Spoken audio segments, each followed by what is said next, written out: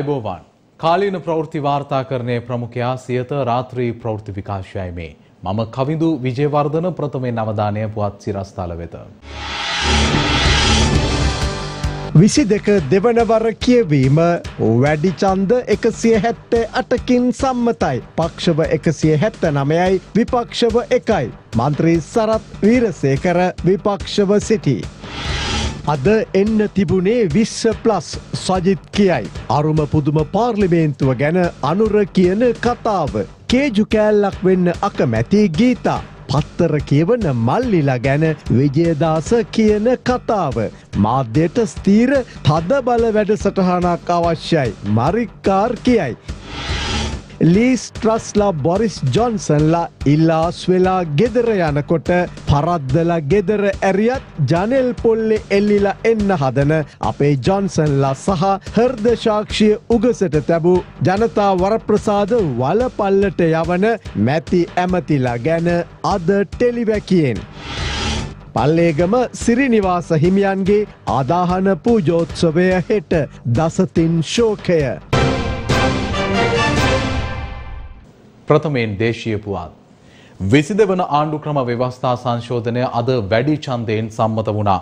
ඊට පක්ෂව චන්ද එකසිය හැත්තෑ නවයක් ලැබුණා. විපක්ෂව ලැබුණේ එක් චන්දයක් පමණයි. විපක්ෂව චන්දය ලබා දුන්නේ මන්ත්‍රී සරත් වීරසය කරයි. විසි දෙවන ආණ්ඩුක්‍රම ව්‍යවස්ථා සංශෝධනය පිළිබඳව වූ පාර්ලිමේන්තු විවාදය ඊයේ ආරම්භ වුණා. ජනාධිපතිවරයා සතු බලතල සීමා කර ප්‍රජාතන්ත්‍රවාදය ශක්තිමත් කිරීම මෙම ව්‍යවස්ථා සංශෝධනයේ මූලික අරමුණ බවයි විසි දෙකේ සම්පාදකින් පවසන්නේ. මෙම ව්‍යවස්ථා සංශෝධනයේ තවත් එක් මූලික කාර්යක් වන්නේ ව්‍යවස්ථාදායක සභාවක් පාර්ලිමේන්තුව තුළ ස්ථාපිත කිරීමයි. කතානායක අග්‍රාමාත්‍යවරයා හා විපක්ෂනායකවරයා නිල බලයෙන් ව්‍යවස්ථාදායක සභාවට පත්වනවා. එසේම විසි දෙවන සංශෝධනයේ තවත් මූලික ලක්ෂණයක් වන්නේ දිත්ව පුරවැසි භාවය දරන්නෙකුට පාර්ලිමේන්තුවට පැමිණීම සඳහවන වරක් ප්‍රසාද ඉවත් කිරීමයි. ඒ අනුව විසි දෙවන ව්‍යවස්ථා සංශෝධනය සඳහවන චන්ද විමසීමේ කටයුතු අද පස්වරුවේ පැවැත්වුණා. ඒ අනුව විසි දෙවන ව්‍යවස්ථා සංශෝධනය දෙවනවර කියවීම අද පාර්ලිමේන්තුවේදී වැඩි චන්ද එකසිය හැත්ත අටකින් සම්මත වුණා. ඊට පක්ෂව ලැබුණු චන්ද සංඛ්‍යාව එකසිය හැත්ත නවයක්. විපක්ෂව ලැබුණේ එක් චන්දයක් පමණයි. මන්ත්‍රී සරත් වීරසේකරයි මෙලෙස විසි දෙවන ව්‍යවස්ථා සංශෝධනයට විපක්ෂව ඡන්දය ලබා දුන්නේ. විසි දෙවන ආණ්ඩුක්‍රම ව්‍යවස්ථා සංශෝධනය දෙවනවර කියවීම පක්ෂව ඡන්ද එකසිය හැත්ත නමයයි හැත්ත නමයයි විපක්ෂව එකයි. ඒ අනුව දෙවැනි මේර කියවීම සම්මතයි. විසි දෙවන ආණ්ඩුක්‍රම ව්‍යවස්ථා සංශෝධනය දෙවනවර කියවීමේ විවාදය අද පාර්ලිමේන්තුවේදී පැවැත්වුණා මේ එහිදී පළ වූ අදහස්. අපි කවුරුත් තේරුම් කරගත යුතුයි හැත්තාටේ ආණ්ඩුක්‍රම වස්ථාව විසි දෙවැනි වරටත් සංශෝධනය කරන බව. පාර්ලිමේන්තුවේ බලය වැඩි කර ගැනීම සඳහා වූ යෝජනාවලට වෙනවා. ආණ්ඩුක්‍රමය සම්බන්ධව පාර්ලිමේන්තුවේ චන්දක්‍රමය වෙනස් කිරීමේ යෝජනාවලට වෙනවා. මේ කටයුතුත් සිදුවිය යුතුයි. අද එන්න තිබුණේ විසි දෙක නෙවේ විස්ස ප්ලස් දැන් විස්ස කරලා රටත් කාලා වමාර වමාර අනුභව කරන. අපේ ස්ථාවරය විසි එක විසි දෙකට උදව් කරන්නේ විසි දෙක කියන එක නිවැරදිම විසඳුම නිසා නෙවෙයි. විසි දෙක විස්සට වඩා හොඳ නිසා. නිමල් සිරිපාල අමාත්‍යතුමා ඔහු 17 වෙනි සංශෝධනය ගේනකොටත් ඇමති. 18 ගේනකොටත් ඇමති. 19 වෙනි සංශෝධනය ගේනකොටත් අත උස්සනවා. 20 වෙනි සංශෝධනය ගේනකොටත් ඇමති. 22 වෙනි සංශෝධනය ගේනකොටත් ඇමති. එකම සංශෝධනය ඉවත් කරලා නැවත එම සංශෝධනය ගෙන්වීම වෙනුණු අත උස්සන අරුම පුදුම මිනිස්සු ඉන්න පාර්ලිමේන්තුවක් මේක. ඒක පැත්තකින් පොඩි ගතියක් තියෙනවා. මේ විවස්ථාවට අපි එකඟ නැහැ. ඒත් ගරු නියෝජ්‍ය කතානායකතුමනි ඒක අපේ රටේ තියෙන නීතිය ඒක අපි යටත්. නව ආණ්ඩුක්‍රම ව්‍යවස්ථාවක් අපේ රටට අවශ්‍යයි. තප්පරද දැන් ඔබතුමා කියන විදිහට මේකට යනවටදී හොඳයි නව ව්‍යවස්ථාවට යන එක. අපි කියන්නේත් නව ව්‍යවස්ථාවට යන්න කියලා. ඉතින් එතුමනේ ආණ්ඩුවේ. එතන එතුමයි වෙන පැත්තකද? ඒක දැන් මේ සංශෝධනය ගෙන්නේ ආණ්ඩුව නෙවෙයිද? ආ ගරු කතා ඔවුන් ව්‍යවස්ථා ගැන සාකච්ඡා පැන්ෂන් එක ගණ්ඩයි අවුරුදු හතරමාරක් ඉන්නයි.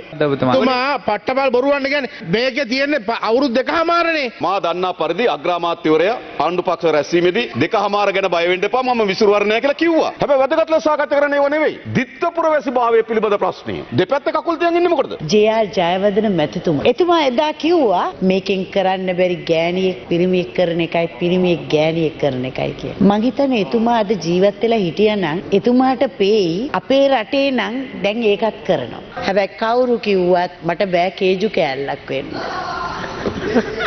එක නිසා මම තීරණය කරා විසි දෙවැනි සංශෝධනය කෙරෙම ඇවිල්ලා ඔව් අත උස්සනවා. මූල්ල ස්ථාවරත්වයයි මේ සමාජ පීඩනය සමාජ අසහනය එක්ක ස්ථාවරතාවයක් ඇති කරගත්තේ නැත්තම් මේ පාර්ලිමේන්තුවට ඊළඟ වටේ දවන්ත ප්‍රතිප්‍රහාරයක් මේ රටේ සමාජයෙන් එල්ල වෙන්න නියමිතයි. මේ විසි දෙවැනි විවස්ථා සංශෝධනයට මොනමොන බයිල කියලා විරුද්ධ වුණත් විරුද්ධ වෙන අය විරුද්ධ වෙන්නේ මගහරින අය මගහරින්නේ වෙන මොකටවත් නෙවෙයි ඇමරිකාවේ කපුටාගේ කපුටු පැටව් ටිකක් විතරයි.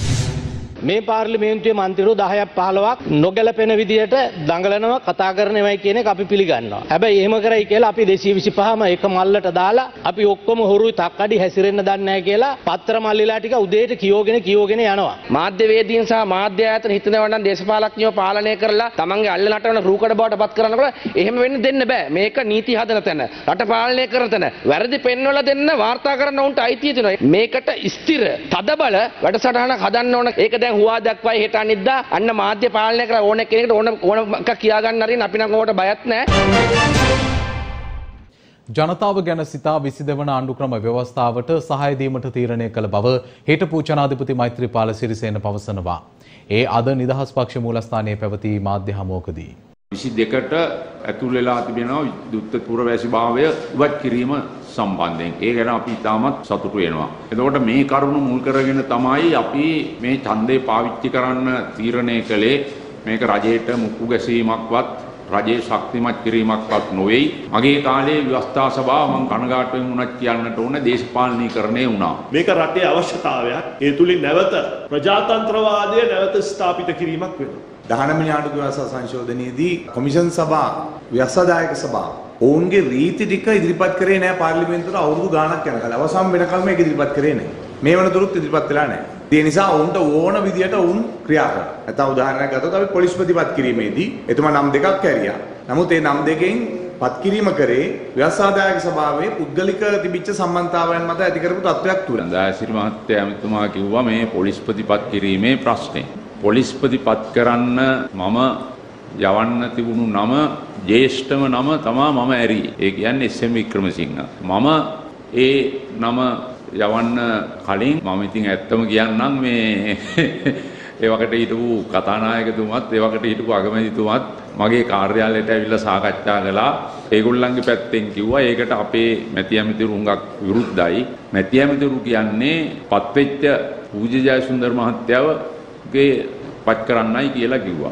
ඒකම ප්‍රතික්ෂේප කළා. ඉතින් එතුමන්ලා මේ විවස්ථා සභාවට ඕන අය පත් කරගත්තා. නමුත් ඊට පස්සේ මට කළ හැකි දෙයක් නැහැ. 19 වෙනි සංශෝධනය තුල මට බලයක් නැහැ. අපි අහෝස කරපු 18 තිබුණා නම් දැන් තියෙන 20 තිබුණා නම් ඉතින් මට ඕන කෙනෙක්ව පත් කරගන්න තිබුණා. මේ වන විට සියලු වාර්තා බිඳ දමමින් සියලු රේටිංස් බොරු කරමින් ලංකාවේ වැඩිම පිරිසක් නරඹන ටෙලිවිෂන් ටෙලිවැකිය දැන්. ටෙලිවිෂන් ටෙලිවැකිය.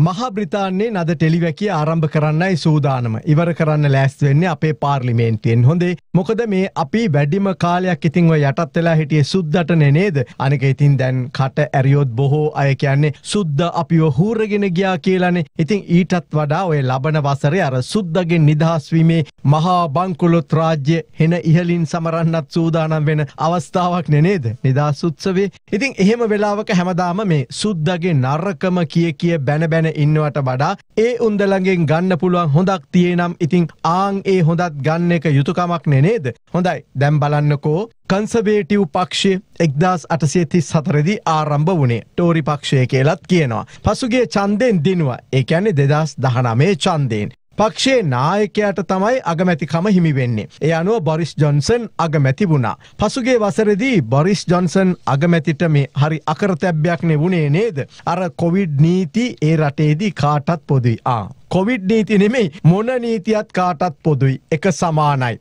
බීලවාහන එලෙවොත් අගමැතිටත් එක නීතියක් දොස්තරටත් එක නීතියක්. අවුනොත් පාරිදි පොලිසියට ඉවරයි. ඒ තමයි එංගලන්තය. කොවිඩ් අවස්ථාවේ බොරිස් ජොන්සන් පුංචි පාටියක් දැම්ම. ඒකෙ පින්තූරේ ලියටාව. හැම පුවත් පතක්සේම බොරිස්ගේ පක්ෂයේ මැති ඇමතිවරුණුත් එය විවේචනය කළා. රටේ ජනතාවට එක නීතියක් බොරිස්ට තව නීතියක් තියෙන්ට බෑ කියල තමයි හැමෝම කිව්වේ. අන්තිමට බ්‍රිතාන්‍ය පොලිසිය පරීක්ෂණයක් ආරම්භ කලා කාට විරුද්ධවද රටේ අගමැතිට විරුද්ධව මේ ගෙදර පොඩි පාටියක් දැම්ම කියලා හොඳේ බොරිස් ජොන්සන්ට පවුම් පණහක දඩයක් ගැහ්වා. හැබැයි ජොන්සන් ඒ වෙලේම සමාවත් ඉල්ලුවත් දඩයත් ගෙව්වා. මේ වරදට මේ ඔහුට එල්ල වූ ඒ චෝදනාවලින් ඔහුට ගැලවෙන්ට බැරි වුණා. ඒ අතර ඔහුගේ මිත්‍රයෙකුට තවත් චෝදනාවක් එල්ල වෙලා තිබුණා. එහිදී බොරිස් හැසුරන විදිහත් විපක්ෂයට වඩා ඔහුගෙම පක්ෂයේ අය විවේචනෙට ලක් කලා. සමහරුන් බොරිස්ගේ ඇමතිකම් වලින් ඉල්ලා අස්සුනා අන්තිමට බොරිස් ජොන්සන්ට කන්සවේටව් පක්ෂ නායකත්වෙන් සේම අගමැති කමෙනුත් ඉල්ලා අස්වෙන්ට සිදි වුණා. ඒ වෙනුවට තමයි ලීස් ට්‍රස් පත් වනේ ලීස් ට්‍රස් පත් වනේ තර රිෂික් සුනක් සමඟ තරගෙන් ලීස් ට්‍රස් පත්වෙලා හරියටම දින හතලිස් පහයි. ඇය පොරොන්දු වූ පරිදි බදු සංශෝධන ක්‍රියාත්ම කරගන්ට බැරි වුණා. ආර්ථිකය යම් අර්බුදයකට යමින් තිබෙනවා. දැන් ඇයටත් යන්න වෙලා. කෞද ඇයට යන්න කිව්වේ ඇගේම පක්ෂය. ඇගේම පක්ෂේ සමහරුන් කිවා පෑ දොළහක් ඇතුළත ගිය නැත්තම් ඇදල එලියට දානවා කියලා.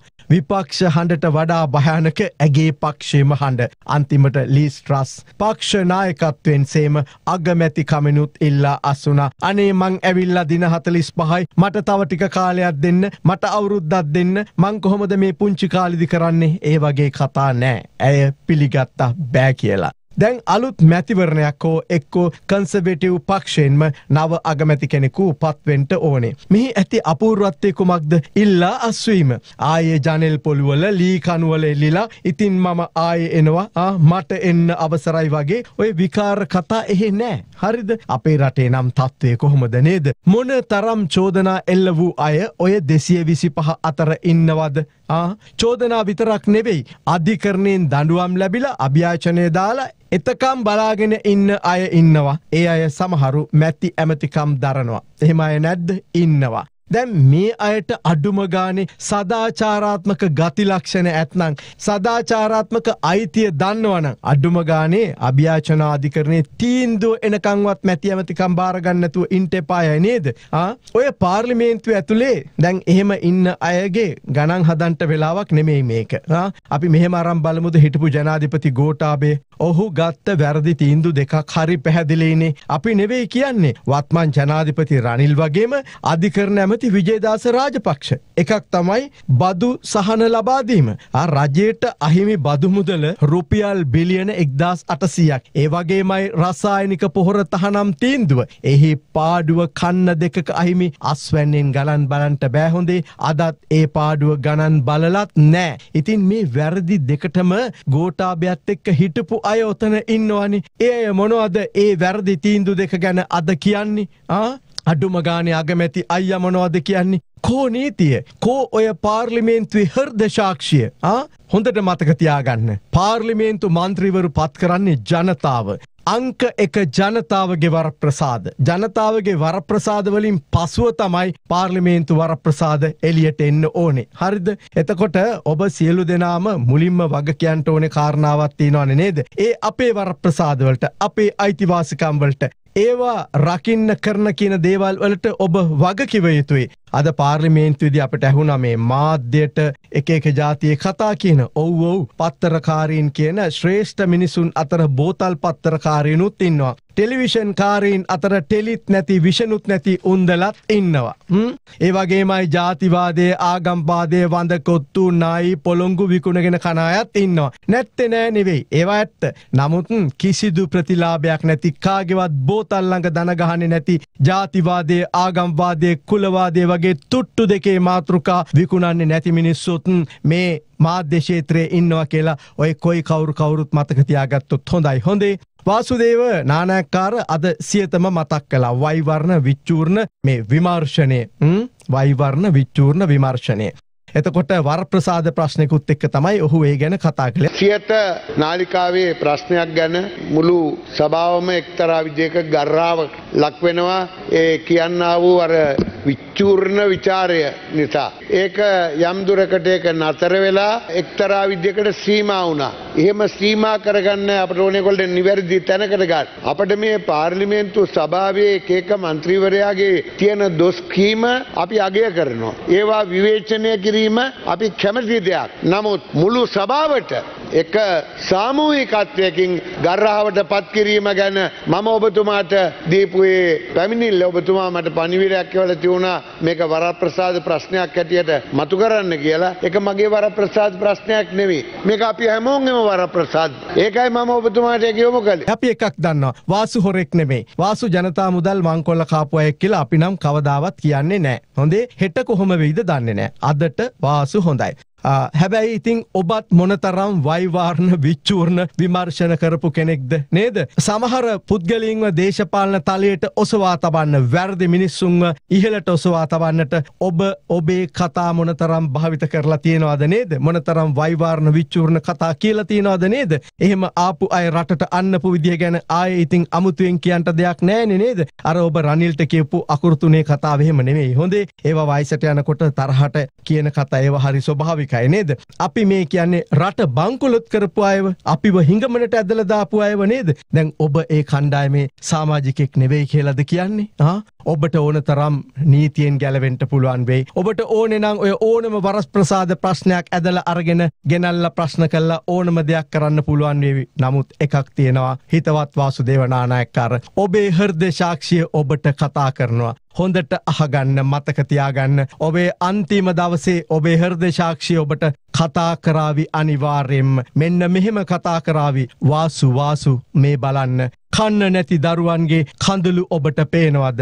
වාසු වාසු මේ බලන්න. පෝලිම්බල මැරිච්ච මිනිස්සුන්ගේ ඒ දුක් අඳෝනා ඔබ දැක්කද? වාසු වාසු. මේ අහන්න මේ බලන්න පවුල් පිටින් කන්න නැතුව හඬා වැටෙන මිනිස්සු ඔබ දැක්කද කියලා හොඳට මතකතියාගන්න ඔබේ හර්ද ශාක්ෂිය ඔය හැම වාසු කෙනෙක්ගෙම ප්‍රශ්න කරන දවසක් එනවා කියලා අද ටෙලිවැකිය අවසන් කරනවා. අනුග්‍රහය. දෘෂ්ටි විද්‍යාවේ එඩ්වාන්ස් කෙමිස්ට්‍රි කාස්ටිං කියන්නේ පලපුරුදු විශේෂඥ ඥානයක් සහිත අයට පමණක්ම සීමාව ඉතාම සියුම් ක්‍රියාවලිය. මේ සඳහා හොඳම විශේෂඥයෙන් වන්නේ ජෝර්ජ් කුණරත්ත ලෙන්ස් එක්ස්පර්ට් ආයතනයයි. පෙරලියන් කරලියට සුජාත නියමුවන්ගේ තිවිරිකය CIPM. නැනවත් වනිතාව සිය පවුල ගොඩනගන්නේය ඔබේ දේශය මහා විදේශරකයා කාර්යාලය කුරුණෑගල ග්‍රීන්වේ. අපවත් වී වදාළ අටමස්ථානාධිපති අතිපූජ්‍ය ආචාර්ය පල්ලේගම සිරිනිවාස නාහිමියන්ගේ දේහයට අවසන් ගෞරව දැක්වීමට මේ වන විටත් මහා සෙනගක් පැමිණෙමින් සිටිනවා. අටමස්ථානාධිපති අතිපූච්ච ආචාර්ය පල්ලේගම සිරිනිවාසනායක ස්වාමින් වහන්සේ පසුගිය දහ නව වෙන දින අපවත් වුණා. ඒ කොළඹ පෞද්ගලික රෝහලක ප්‍රතිකාර ලබමින් සිටියදී. අපවත් වන විට උන්වහන්සේ හැට නව වන විහි පසුවා. මෑත කාලයේ ජයශ්‍රීමා බෝධී වහන්සේ ඇතුළු මහා විහාරයේ සංවර්ධනයේ නියමුවනන් වහන්සේ වූයේ ගරු අටමස්ථානාධිපති නාහිමි වහන්සේ බව අවිවාදාත්මකයි. එක්දහස් නවසය හැත්තෑ හත වසරේදී අටමස්ථානාධිපති තනතුරට පත්වන අතිපූච්ච පල්ලේගම සිරිනිවාසනාහිම්පාණන් වහන්සේගේ ශාසනික ජීවිතයට අවුරුදු පනස් හතරක්. උන්වහන්සේ බුද්ධ ශාස්ත්‍රනය වෙනුවෙන් සිදු කළ මෙහෙවරයන් අතිමහත්. ශ්‍රී මහබෝ සමිඳුන් වටා ඉදි වූ රන් පැට තැනීමට මූලික අඩිතාලම සිරිනිවාසනා හිමියන්ගේ ප්‍රධානත්වයෙන් සිදුවනා. උන්වහන්සේගේ අවවාද අනුශාසනා අනුව ජයශ්‍රී මහබෝධී වහන්සේ වටා දෙවැනි රන් වැට දෙදහස් තුනේ වෙසක් මසදා හතරවෙනි දින ප්‍රවෘත්ත කෙරුණා. එසේම ජයශ්‍රී මහබෝ සමිතුන් වෙත එන බැතිමතුන්ට දින ගණන් මුළුල්ලේ බෝධීන් වහන්සේ අභියසටම ගොස් දැක බලා වැඳ පුදා ගැනීමට අවස්ථාව උදා කර දුන්නේද අතිපූජ්‍ය අටමස්ථානාධිපති පල්ලේකම සිරිනිවාස ස්වාමීන් වහන්සේ. සියත අමාබැස්ස පොසොන් පෝතා සජීව විකාශය අනුරාධපුර පුදබිම කේත්‍ර කර ගනිමින් සිදු කළ සෑම අවස්ථාවකදීම අටමස්ථානාධිපති පූච්ච පල්ලේකම සිරිනිවාසනා හිමියන් ප්‍රධාන අනුශාසනා සිදු කරමින් සියත අප සමග එක්ව නිරන්තරයෙන් කටයුතු කළා. අපවත් වී වදාළ අටමස්ථානාධිපති පල්ලේගම සිරිනිවාසනායක ස්වාමීන් වහන්සේගේ ශ්‍රී දේහය මේ වන පිට අනුරාධපුරයේ මහාවිහාර සන්නිපාත ශාලාවේ තැන්පත් කර තිබෙනවා. මේ වෙන පිටත් උන්වහන්සේට අවසන් ගෞරවය දැක්වීමට මහා සෙනගක් පැමිණිමින් සිටිනවා.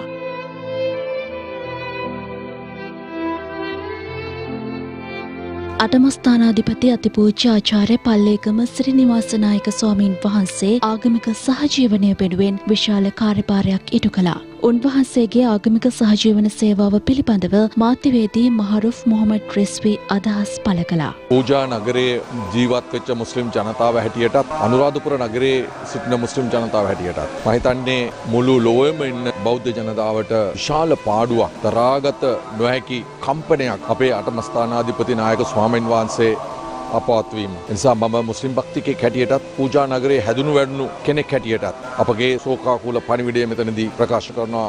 අටමස්ථානාධිපති පූජ්‍ය පල්ලෙගම සිරිනිපස්සනායක ස්වාමීන් වහන්සේගේ ආදාහන පූජෝත්සවය හෙට පස්සරු දෙකයි තිහට මහා විහාර ආදාහන මළුවේදී සිදු කිරීමට නියමිතයි.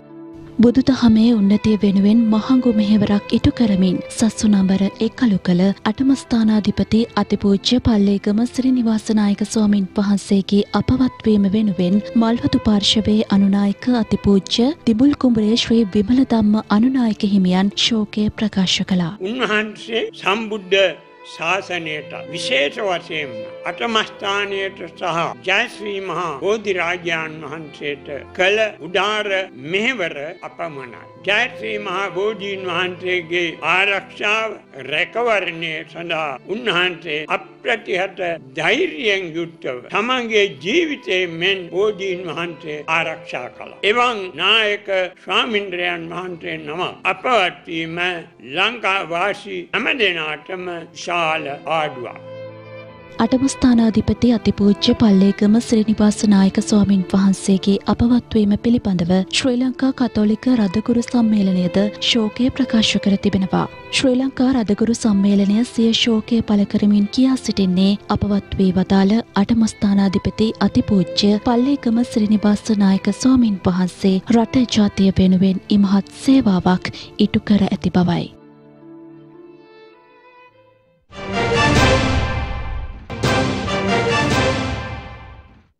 පවතින වැසි තත්ත්වය තවදුරටත් අපේක්ෂා කළ හැකි බව කාලගුණ විද්‍යා දෙපාර්තමේන්තුව පවසනවා. අධික වැසි තත්ත්වය හේතුවෙන් ජලාශ රැසක වාන්දොරටු මේ වන විට විවෘත කර තිබෙනවා. මධ්‍යම කඳුකරයට ඇබැහැලෙන අධික වර්ෂාව හේතුවෙන් ඉහළ කොත්මලේ ජලාශයේ වාන්දුරටු හතරක් මෙවන විට විවෘත කර තිබෙනවා. ඉහළ ජලපෝෂක ප්‍රදේශවලට තවදුරටත් වැසි ලැබුණොත් එම ජලාශයේ සෙසු වාන්දුරටුවත් විවෘත වන බවයි ජලශ භාර ඉංජිනරුවන් පවසන්නේ.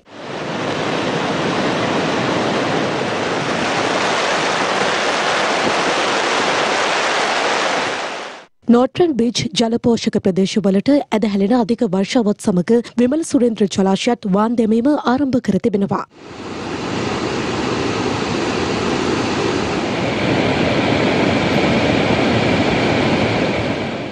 කසල්රි සහ මවුසාකලේ ජලාශවල ජලමට්ටම පිටාර මට්ටමට ඉතා ආසන්න වී ඇති බවත් එම ජලාශවල ජලමට්ටම ඉහළ යාමත් සමග විමල සුරේන්ද්‍ර කැනියෝන් ලක්ෂපාන නව ලක්ෂපාන පොල්පිටිය යන ජලවිදුලි බලාගාරවල ජලවිදුලි උත්පාදනය උපරිම ධාරිතාවෙන් සිදු කරන බවයි එම විදුලි බලාගාර ඉංජිනේරුවන් පවසන්නේ. කාසල්රේ ජලපෝෂක ප්‍රදේශවලට ඇදහැලෙන අධික වර්ෂාව හේතුවෙන් කාසල්රේ ජලාශය අද පස්වරුවේ සිට වාන් දැමීම ආරම්භ කර තිබෙනවා. අධික වර්ෂාව නිසා මහවැලිගගේ පොල්කොල්ල ජලාශයේ වාන්තුරටු හතරක් මෙවන විට විවෘත කර තිබෙනවා.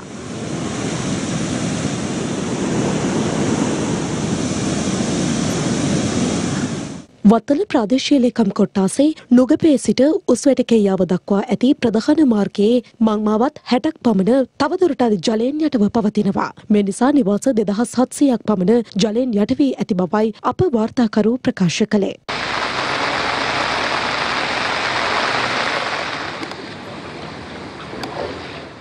හැටන් කුඩාකම ප්‍රදේශයේ නිවසක් මතට පස්කන්දක් කඩා වැටීමෙන් එම නිවසට දැඩි අලාභහානි සිදුවී තිබුණා. මෙම අනතුරින් කිසිවෙකුටත් හානි සිදුවී තිබුණේ නැහැ. නිවසේ පදිංචිකරුවන් මේ වන විට ආරක්ෂිත ස්ථාන කරා යොමු කර ඇති බවයි වාර්තා වුණේ.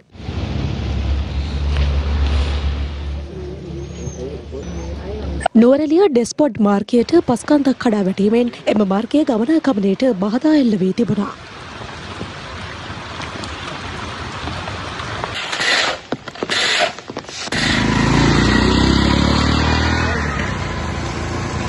බලපාඇති තද වැසි සහිත කලකුණ තත්වේ හේතුවෙන් මෙවන විට දිස්ත්‍රික්ක හතරකට නායෑම් අනතුරු ඇඟවීම් නිවේදන නිකුත් කර තිබෙනවා. එම නිවේදන තවදුරටත් ක්‍රියාත්මක බවයි ජාතික ගොඩනැගිලි පරිශ්‍රණ සංවිධානය පවසන්නේ. LOLC ෆයිනන්ස් PLC කිරිබත්ගොඩ ශාකාව පසුගියදා විවෘත කෙරුණා. LLC ෆයිනන්ස් PLC කිරිබත්ගොඩ ශාකාව නුවරපාර කිරිපත්ගොඩෙහිදී විවෘත කෙරුණා.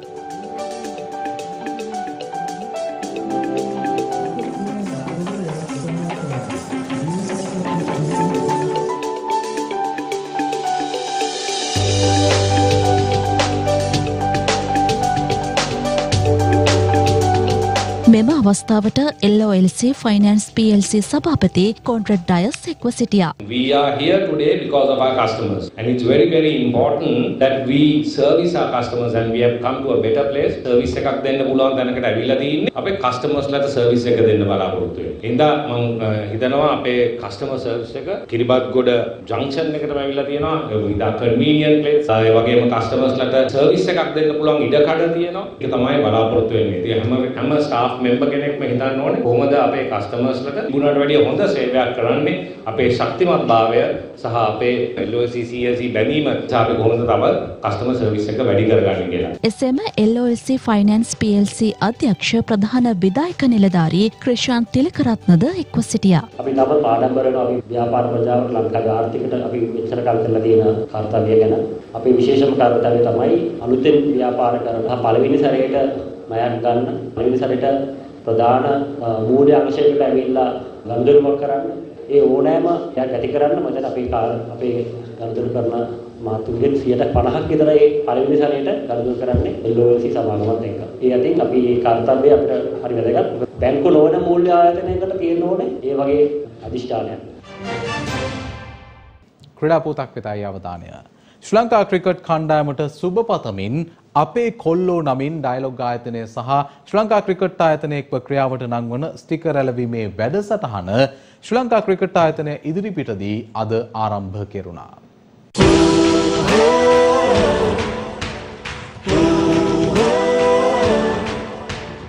උළුපිටියමද වනත් කර ජයගමු නොසැලීම මෙවර පන්දුවර විස්ස ලෝක කුසලානයට සහභාගී වී සිටින ශ්‍රී ලංකා ක්‍රිකට් කණ්ඩායමට සුබපතමින් අපේ කොල්ලෝ නමින් ස්ටිකර් ඇලවීමේ වැඩසටහනක් අද ආරම්භ කෙරුණා. මෙරට ප්‍රමුඛ පෙළේ සමාගමක් වන ඩයලොග් ආසියාටා PLC සහ ශ්‍රී ලංකා ක්‍රිකට් ආයතනය එක්වයි මෙය ක්‍රියාවට නංවනු ලැබුවේ. අද එහි සමාරම්භය ශ්‍රී ලංකා ක්‍රිකට් ආයතනය ඉදිරිපිටදී සිදු වුණා. එහිදී ත්‍රීරෝද රථවල ස්ටිකර් ඇලවීම සිදු වූයේ මේ ආකාරයටයි.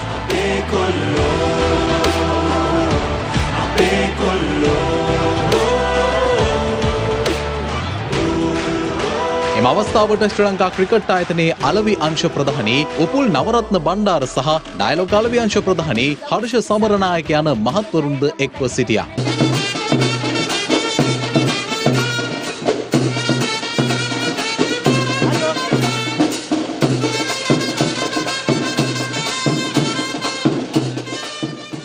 ඉතින් අපි වසර නවයක් පුරාවටම ජාතික ක්‍රිකට් කණ්ඩායමේ නිල අනුග්‍රහක ආයතනයේ විදියට ඩයලොග් සමාගම කටයුතු කරනවා. ඒකේ තවත් පියවරක් තමයි අද මේ ආකාරයට අපි ආරම්භ කරන්නට ශ්‍රී ලංකා ක්‍රිකට් කණ්ඩායමට දිරිමත් කරන්න. ඉතින් මේ ස්ථානයෙන් අද මේ ආරම්භ කරන ස්ටිකර් කැම්පේන් එක අද මේ ස්ථානයෙන් ආරම්භ වෙලා අපි ශ්‍රී ලංකාව පුරාම ක්‍රියාත්මක කරන්නට තමයි බලාපොරොත්තු වෙන්නේ. අපි සමගින් ඩයලොග් ආයතනයේ සමගින් එකතු වෙන්න, ඒ වගේම මේ ස්ටිකරය ඔබගේ වාහනේ අලව ගන්න, එහෙම නැත්නම් කඩේ අලව ගන්න.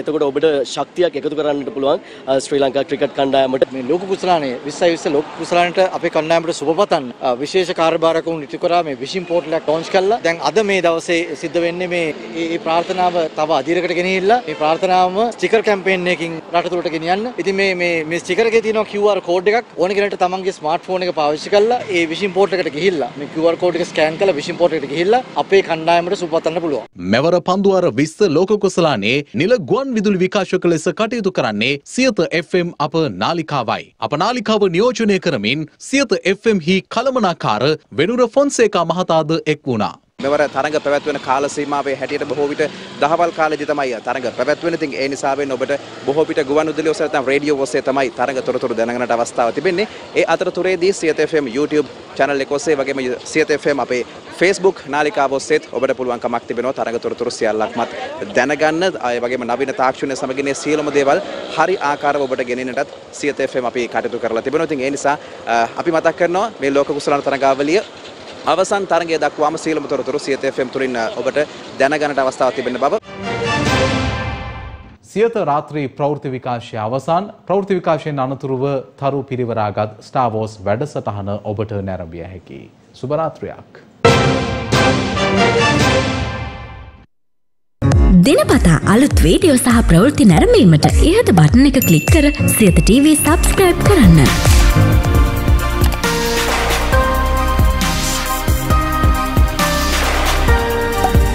අලුත් වීඩියෝ ගැන මුලින්ම දැනගන්න මෙම සීනුව ක්ලික් කරන්න.